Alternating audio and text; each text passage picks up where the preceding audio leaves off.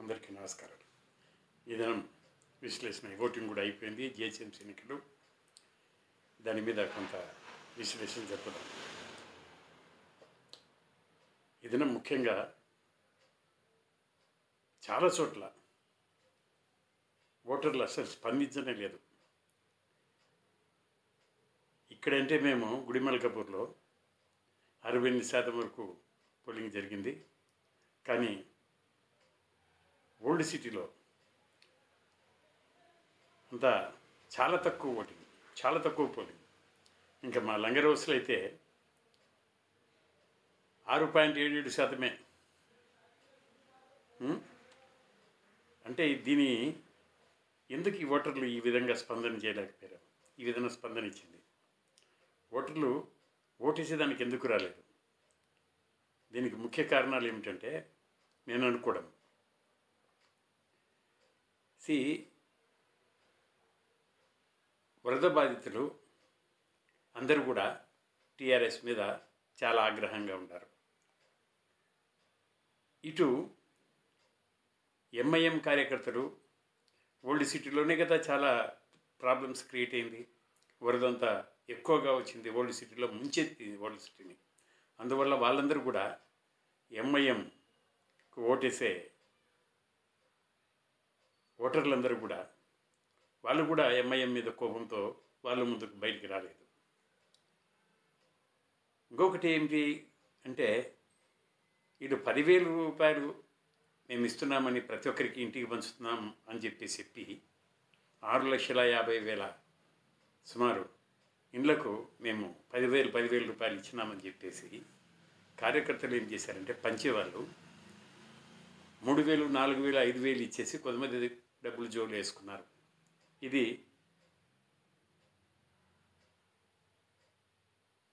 మీడియాలో చాలా విస్తృతంగా ప్రచారం జరిగింది దీని మీద. దీని మీద ఇప్పుడైతే ఆ మూడు వేలు నాలుగు వేలు ఐదు వేలు ఎవరైతే తీసుకున్నారో వాళ్ళందరూ కూడా టీఆర్ఎస్కు ఓట్లేరు గ్యారంటీ. ఎందుకంటే పదివేలలో మీరు మా డబ్బులను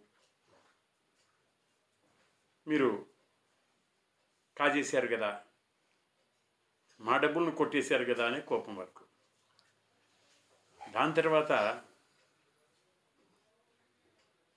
ఎన్నో విషయాలు. అంటే ఇప్పుడు ఏమైపోయిందంటే ఆల్టర్నేటివ్ ఒకటి బీజేపీ అనేది దూసుకొచ్చింది ప్రచారంలో. దూసుకొచ్చిన తర్వాత ఇప్పుడు ఏమైపోయింది? బీజేపీ క్యాడర్ బీజేపీ ఓటర్లు బీజేపీ ఎవరైతే సింపథైజర్లు ఉండారో వాళ్ళందరూ కూడా బయటకు వచ్చేసి ఎట్లయినా సరే టీఆర్ఎస్ను ఓడించాలనే ఉద్దేశంతో బీజేపీకి ఓట్లేశారు. ఇటు ఎవరైతే కనుక టీఆర్ఎస్ మీద ఎంఐఎం మీద మాకు సరిగ్గా ఈ వరద సహాయం చేయలేదు మా డబ్బుల్లో కొంత కొట్టేశారు అనే అగ్రహావేశాలతో ఉన్నారో వాళ్ళందరూ కూడా తర్వాత రోడ్లందు సరిగ్గా చేయలేదు ఇవన్నీ సరిగ్గా చేయలేదు నీళ్ళు తోడలేదు నీళ్ళు అట్లే ఉన్నాయి పది రోజులైనా అట్లే ఉన్నాయి పదిహేను రోజులైనా అట్లే ఉన్నాయి అని చెప్పేసి బాధపడిన కాలనీవాసులు కానీ పాత బస్తీ ప్రజలు కానీ అందరూ కూడా కోపంతో ఏ వీళ్ళకు ఓటమి వేయాలా ఏనే వద్దు మాకు. వాళ్ళక బీజేపీకి ఓట్లేసేది ఇష్టం లే.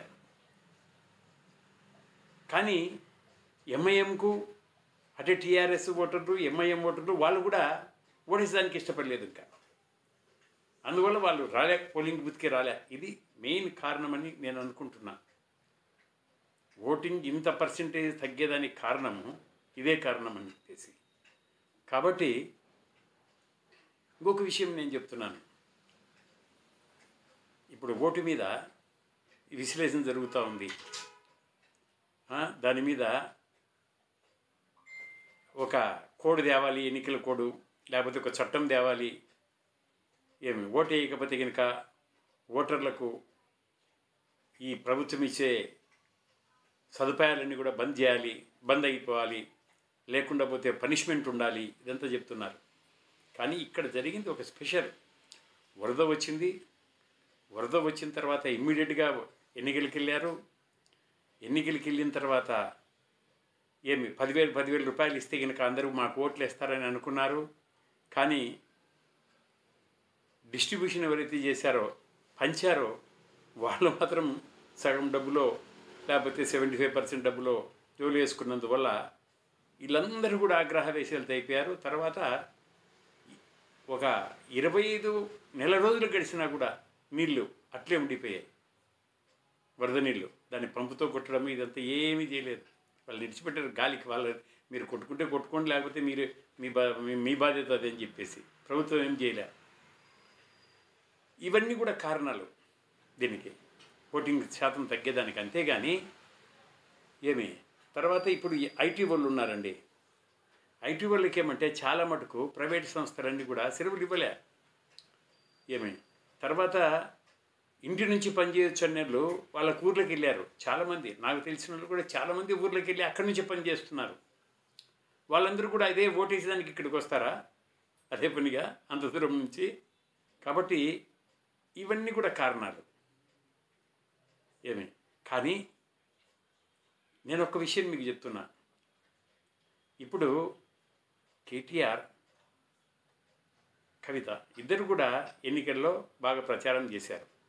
కానీ ఇప్పుడు ఒకచోట వేటేయకపోతే కనుక మీరు వాళ్ళకి పనిష్మెంట్ ఇవ్వాలి వాళ్ళకి ఇది చేయాలి వాళ్ళకి అది చేయాలి ఒక చట్టం తేవాలి కంపల్సరీ చేయాలి ఓటింగు. ఎస్ ఓటింగ్ కంపల్సరీ చేయాలి నేను కూడా ఒప్పుకుంటా.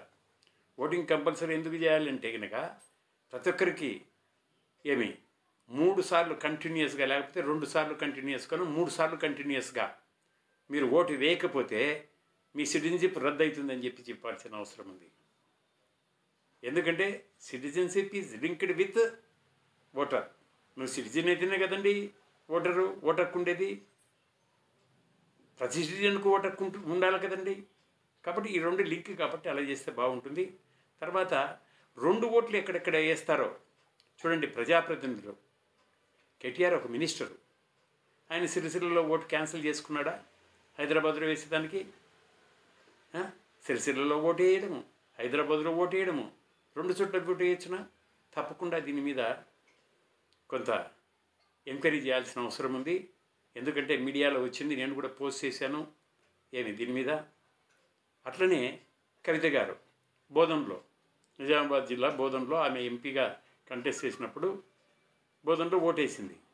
మళ్ళీ ఇక్కడ హైదరాబాద్లో ఓటేసిందంటే కనుక అక్కడ క్యాన్సిల్ చేసుకుని ఇక్కడ ఓటేసిందా? లేకపోతే అక్కడ ఓటు అట్లే పెట్టి ఇక్కడికి ఓటు వేసిందా ఏమి రెండుసార్లు ఓటు వేయచ్చునా అక్కడ ఉంది ఇప్పటికీ ఎగ్జిస్ట్ ఉంది. లిస్ట్ కూడా పెట్టాను నేను. అక్కడ లిస్ట్ ఓటర్స్ లిస్ట్లో ఆమె పేరు ఉంది ఇక్కడ ఓటర్స్ లిస్ట్లో ఆమె పేరు ఉంది. రెండు చోట్ల ఆమె పేరు ఎగ్జిస్టింగ్ ఇది చదువుకునే వాళ్ళు ఏదన్నా చేస్తే కనుక పర్వాలేదు కానీ ప్రజాప్రతినిధులుగా ఉండి ఒక ఆమె ఎమ్మెల్సీ ఆయన ఎమ్మెల్యే ఆయన మినిస్టరు. ఇల్లు ఇలా చేయొచ్చునా? ఓటర్ లిస్టులో ఇప్పటికీ పేరు ఉంది నాకు పెట్టారు. వాళ్ళు ఆ పెడితే నేను పోస్ట్ చేశా. అది కూడా ఓటర్ లిస్టును కూడా. ఏమి?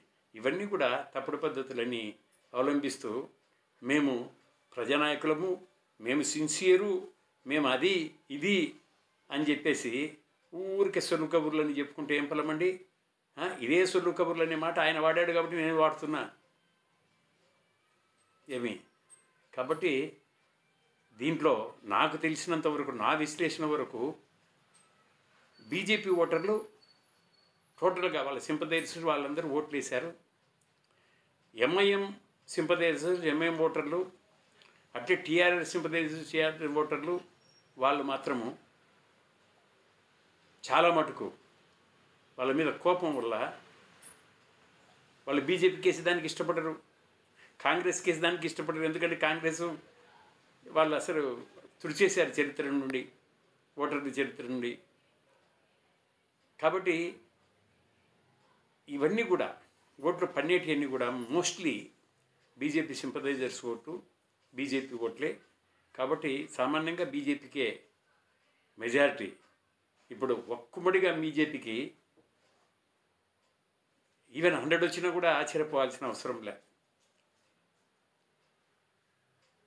ఇది ఈ విధంగా నేను విశ్లేషించి ఎన్నికలను గురించి ఇంకా రేపు కౌంటింగ్ ఉంది. నాలుగో తారీఖు. ఆ కౌంటింగ్ అప్పుడు ఏమి ఎవరు రైట్ అవుతారు? ఎవరు తప్పు అవుతారు?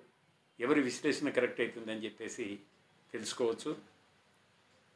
ఏమి? ఇంతటితో నా విశ్లేషణను ముగిస్తున్నాను. నమస్తే. జై తెలంగాణ. జై హింద్.